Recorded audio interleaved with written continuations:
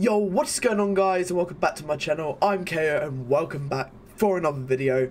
Today is more of a tutorial video. As you see by my thumbnails, I think they're all very cool.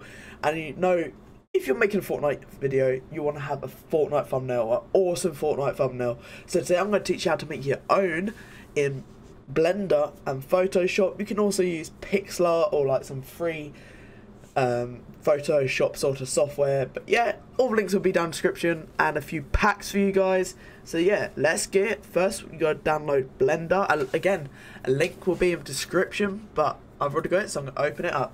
When you open up Blender, you'll just see this. It would you'll just be greeted by this. So I like to just click off the side, drag, uh, just literally left click and drag. Highlight these and hit X and enter. That's just gonna delete these. So now you have an easy little work surface here. Okay, so first you want to get your model, so you want to go file append. So as soon as you go file append, uh, you go work out where your models are. I've only got a few here, the rest of them in a different folder. So today we're going to go for a kind of basic one. Okay, so I'm just going to use a, a Renegade Raider. Okay, we're just going to use Renegade Raider. I'm going to highlight these two. So what I did is I clicked on Renegade Raider. I hit object, then I highlight these two, then I hit append from library. As you see, it's all zoomed in. Just use scroll wheel to zoom in and out. And use this tool here. I'm just going to use X, bring me forward, zoom in a little bit. Okay, so as you can see, it's just white, and all those like dots and lines, they're actually her bones or armature, as we like to say. And these are things that you can move. But come in right hand side, it says viewport shading, just make sure you click on that. And that'll bring in all the texture and like the actual skin. And as you can see, it looks pretty normal. Okay. Okay, we're not going to talk about that. We're not going to talk about that. But anyway, so now you just want to, like, if it's for a client, you just go ask what sort of video, check the video out if you can, then work from there. Otherwise, you can just have free flow. So this was gonna get her holding a deagle and like a bit of a weird like angry face on her. So first what we're gonna do is we're gonna hit one of the bones, go over to this point and hit pose mode. Okay guys, now you're in pose mode, we can actually start working. So what I like to do first is like your facial expression. Like I said, I'm gonna make her look angry, slash like tormenting the opponent. So I'm scrolling into her face right here. As you can see, she just looks a bit normal. So, angry face, what is it? Your eyes are ever so slightly like squinted and your eyebrows are down, okay? So what I'm going to do is I'm going to hit on this joint here, which I know is the eyebrow. I'm going to come over to rotate to on the left hand side. And I'm going to use the Y axis to uh, rotate. I'm going to make that go down a little bit, okay? So I like that sort of angle. I'm going to do the same on the right hand side. Okay, now I'm going to hit, go to this move tool here. I'm just going to drag it down ever so slightly. Okay, so like the eyebrows are down. And this middle tool, you know, does these bits. I'm just going to drag that down ever so slightly. Okay, so eyelids. So either side, I'm going to use the bottom one just to drag him up. Drag him up as you can see. Uh, top, you don't really need to, but you can if you want with her mouth. I'm going to make her just smile from the side of her mouth. Okay, so I'm just going to lift these bits up. Okay, so she's looking at you like you're mine. Okay, these bits are your cheekbones. I'm just going to raise them up only ever so slightly. So it doesn't look all weird and everything goes off. Okay, so now you have the face done. So what I like to do, if I'm, especially if I'm working with hands and a gun, so like of course you need um, your three bottom fingers, so your pinky, your ring finger, your middle finger to be like wrapped around the gun, index finger to either be through the actual uh, like trigger point or uh, straight, which I'm probably going to do today. A lot of people have been doing that lately and I have noticed that. So what I'm going to do is I'm going to come down to fingers. I like to go from this sort of angle here. Okay, so first what I'm going to do is I'm going to grab the middle finger, hit the rotate tool, I'll put this sort of angle so I can see and use the green to put this little bit up here. I'm going to do that on every finger except from the um, index. Okay, so now they're all like even-ish. And now I'm going to grab this one, part for knuckle, and I'm just going to put that about there. Uh, oh, I've just done that. Oh, by the way, guys, if you want to go back, it's uh, Control Z, and it will go back to how you wanted it. I'm to click on this bit of armature and again bring it up to a similar point. point and again for the pinky I like it to be very accurate and very um, in the same sort of position like all the fingers as you can see they are uh, from this sort of angle they look a bit skew-ifed but we're not going to be working from that angle. I'm actually going to straighten up the index finger by the way. So as you can see I'm just going to come down to this point straighten up a little that bit finger go to this bit straighten it up again. I'm actually going to use the this point here to just straighten that and just straighten that again we can like sort out the whole knuckle in a minute there we go so I'm just going to go from here so now I'm going to bring the elbow, uh, the shoulder up so slightly. I'm going to bring this up and in a little bit. Uh, I'm actually going to bring that back and then bring this up just a little bit more. Okay, so I have the sort of thing, I've got this sort of feel right here. So now we're going to bring the deagle in. So to do that, I'm going to put this back in object mode. Then I'm just going to hide the armature just so I can do it. Then I'm going to go file append again. I'm going to go back and find the deagle, which is right here. Again, you want to go to object. Then this one has a different view. Just use this bottom two, the AO and the MO. I'm going to pin that from library also. So as you see, that little dot just here, that is the deagle. So we go hold S and click and drag up as well to whichever size you like. About there seems reasonable. Then to use the move tool to bring it up. Bring that out. So that's about a right size. Um, you may make it bigger, but that looks pretty much perfect. So this is where you just want to like mess with it a little bit. Uh, you can mess with the angle of how it's held. So I'm actually going to bring that just like down a little bit. And as you can see, it already looks like it's being held properly. But again, I'm going to flatten these knuckles, this bit here. And that should be alright. Make sure it's not like digging in. So like, as you can see, yeah, it's like digging in a little bit. So I'm just going to bring it up only ever so slightly. Now I'm going to deselect that and hide that armature as well. Okay, actually I'm going to bring that down just a little bit. Perfect. Right, so I'm going to hide that. I'm going to click this armature. Make sure it's yellow, so you just want to click on the actual thing. And then go to pose mode again. So now I'm going to click on this knuckle and just bring it in and just going to lever it up. Do that. Do that. See, the because the sort of angle we're going for, you're not going to be able to see it too much, so it's not really a big deal. Okay, now the thumb. So as you can see, the thumb is at a little bit of a weird angle. So I'm going to click on the thumb armature. I'm just going to bring that down a little bit. Uh, we could probably bring it in. Um, we'll bring it to about here. So that also, if I come around here, clears up the back. And as you see, it's still out a little bit, but it doesn't really matter. Okay, so I've changed my mind. I'm actually going to put this finger through. So I'm just going to bring that around like this. That go down. Just edit that down. Uh, this one I'm actually to like just move down like so. So that sort of angle, as you can see, it's going through the trigger. Yeah. Okay, so what I'm to do now is I'm to grab this bit uh, no, not that bone. yeah, this bone. Bit rotate tool. I'm to go to roughly how I want her body. Yeah, this is a very stiff one, but it's just to show you. I'm going to bring her head towards us.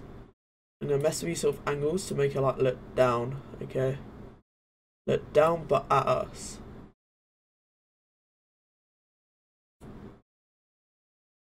Okay. And if you just want to click off here, you can. So I quite like that, so I'm going to... Yeah, so I like how this is all positioned. I'm to go put the camera angle like this. Okay, so easy. If you have it to sort of wait how you like it, then just go add here and add camera. It will put it at the angle that you are at. So if you hold S and put it up, to make it bigger, I'll bring that back and put it up. Okay, we just do some adjustments. Oh, by the way, to toggle uh, the camera, just hit here.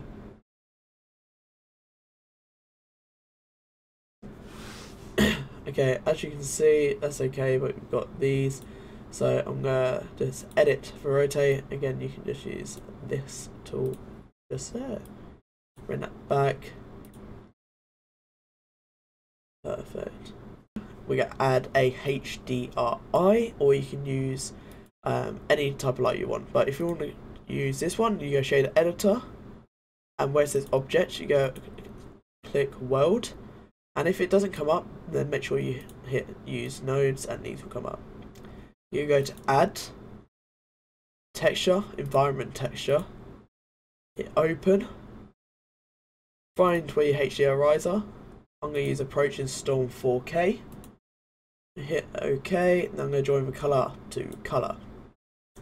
So this is going to add the light. So what I'm going to quickly show you is if you come over here, you see how much lighter it is? Like this is just a park, like it looks weird, but this is, so you see how like dark, that brightens it up. So I'm going to use that, but you just want it as this background, you don't want all that sort of background. So go come over to the right hand side and where it says context render. You click on that, make sure it's not Eevee you go to cycles, then where it says device, hit GPU compute, and this just makes it 10 times better as a render. Then where it says render, I'm just gonna, you can do this as much as you like, but just for the sake of video, I'm just gonna put 200, then viewport, I'm gonna put it as 50. Then, okay, so you want it to be transparent as a PNG.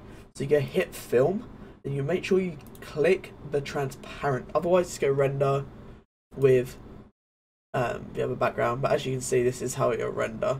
So you see it's all like pixelated. It won't be pixelated when you render. Okay, so I'm going to hit render up here, then hit render image. So I'll be back with you when it's all rendered. Okay, so it's finished rendering. You're to save it, you go hit image, save as, and just save wherever you like. I have a folder with all my PNGs. I'm just going to name this um, tutorial. I just spelled that totally wrong, but who cares. Save image. So now you want to open up your photo editing software. For me, it is Photoshop. So I'll meet you in Photoshop. Okay, so as I'm in Photoshop, I'm just going to hit File, Open, then find what I just made. So as you see, I've got tons. So we're just going to go to tutorial right here. And as you can see, it's quite boring. Okay, so we're going to add a background. But first what I like to do is get rid of that. Uh, I'm going to add a new layer, which is down here. Come to here and just put solid color. And I'm just going to put it to black. So the background is just black. Okay, so we're going to add a little bit more lighting and make it stand out a little bit. So a bit of color correction. So I'm going to come up to this bit here, which is called, does it show? It's adjustment layer. So I'm going to hit curves. And up here, we can mess around with like the curves of lighting. So I'm going to go to about this point and just bring it to how I like it. Bring that, then I'm going to come up to another point, bend it back, or I can put it all the way forward. I'm going to put it to about there. And again, I'm going to hit on that. I'm going to hit vibrance and just turn up the vibrance. As you see, it makes it just look a little bit more better. I'm going to bring it up to about 73. Saturation, it goes a bit orangey, so I'm just going to put it to about 41. Again, I'm going to go down to hue and saturation. Hue, you can mess around with like colours of random things, but I'm just going to leave it on zero if it will let me. I was putting, uh, if I hit undo modify. Okay, so now saturation, I can do this again. I'm just going to even it out a little bit. Okay, that looks fine like this. Lightness, I don't mess with on here at all. So edit, undo. Right, bet. So now we've got this sort of style. I'm going to add a background, so I'm going to go file open. And I've got a thing called backgrounds. It's also got weird things in it. Uh, so I'm just going to open my Fortnite background. Um, I'll put a link in the description to where you can find tons of these. Okay, I love this one. So I'm going to, on my keyboard. I'm going to hit Control C, which would go. Uh, sorry, Control A, Control C, which will copy this, and come to this layer and go Control V. Okay, so as you see, it's too small, so I'm going to hit Control T, drag this up to the corner, and hold Shift as I drag, so it does not like go weird. Okay. Um, that didn't work. Control T. Hold Shift and just drag it. So I'm going to put it to about here. I'm also going to put it at a slight angle. And just make sure these corners are filled. Okay, perfect. So now I'm going to add like a, a slight blur. So you go filter, blur. I like Gaussian blur. So you can mess around, you can make it so it's pretty much mess around, but that here is that down a little bit. Okay, now I'm gonna hit OK. I'm gonna drag that underneath our layer here. So as you see, the effects also go into the background, which makes it pop. Like I honestly love this sort of background, and it it it does look pretty nice in my opinion. So I like to also add like a white burst. Um, so I have this burst here, it's a white burst. So I'm gonna hit all, copy, go tutorial, V, control T, it's up in this corner. Again, shift. But as you can see, that has like a middle thing. So I'm gonna drag it ever so slightly out of frame. And make it so this is behind her. Okay, perfect. So again, you can see these lines, it's very more subtle than it is otherwise. So you can add like a logo or something. So I'm actually going to add a Blender um, logo. So if I just go, oh, okay. So if I just go to Blender logo, images, uh, make sure it's a PNG. You want to find a PNG one and just hit this one, okay. Save image as, uh, save it to wherever you like. I'm just going to hit backgrounds.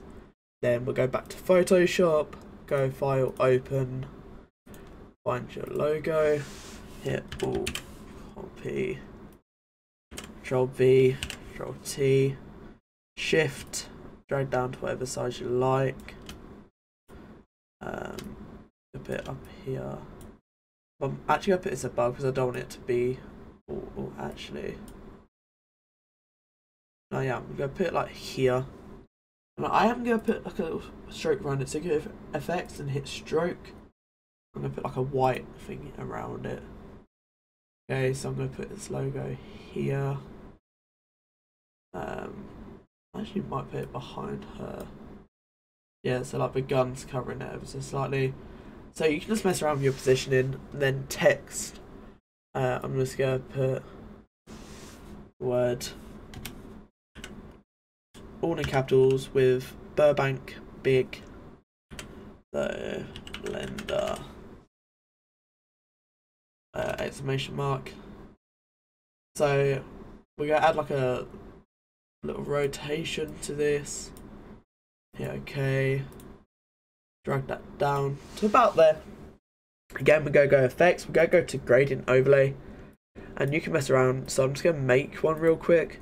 So using like whatever in here, so I'm just gonna use that point of her, um, that point of her, if that makes sense.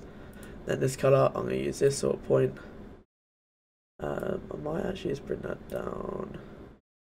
Now I'm gonna make it like a deep red. Yeah, okay.